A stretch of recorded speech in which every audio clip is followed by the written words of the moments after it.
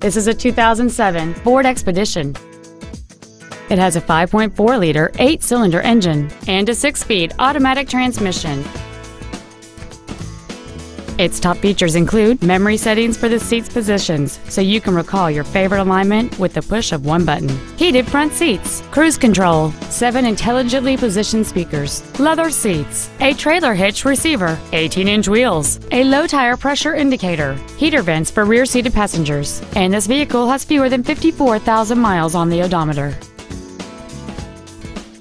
Stop by today and test drive this vehicle for yourself. Saybrook Ford is dedicated to doing everything possible to ensure that the experience you have selecting your vehicle is as pleasant as possible. We are located at 1 Ford Drive in Old Saybrook.